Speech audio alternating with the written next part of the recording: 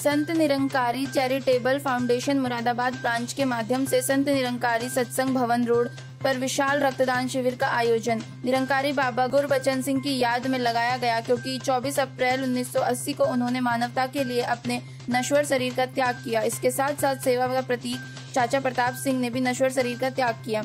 रक्तदान शिविर का आयोजन विनोद भाटिया द्वारा किया गया। अपने संबोधन में बोलते हुए विनोद भाटिया ने कहा कि इस रक्तदान शिविर के अवसर पर उपस्थित होकर मानवता के कल्याण के लिए लो अपना, लोग अपना रक्तदान कर रहे हैं।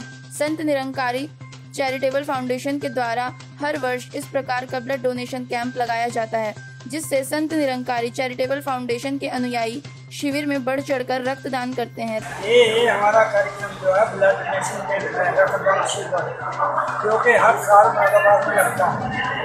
और ये जो है ब्लड डोनेशन कैंप को हमारे सदगुरु बाबा गुरबचन सिंह जी की याद के अंदर बाबा हरदेव सिंह जी ने ये रक्तदान शुरू किया।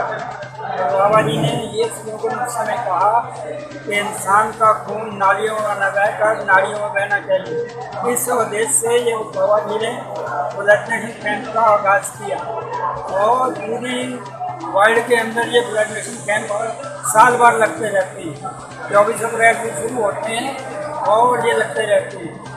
और वर्ल्ड ऑर्गेनाइजेशन जो है, हमारी, उसने इस मिशन को बहुत सराहना की और इन्होंने उनको मिशन को एक शील्ड दी इस उपलक्ष्य में कि सबसे ज़्यादा जान व माल की रखवाली ये मिशन ने की है ब्लड पर। कितने लोगों ने अब तक रक्तदान किया होगा?